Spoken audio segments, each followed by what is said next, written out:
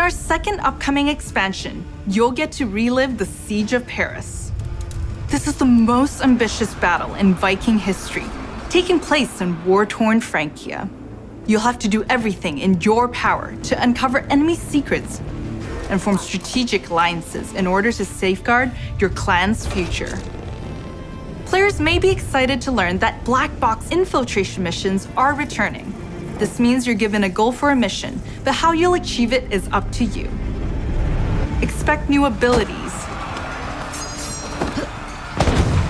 weapons, gear, and of course, new enemies. Watch out for the Siege of Paris coming this summer.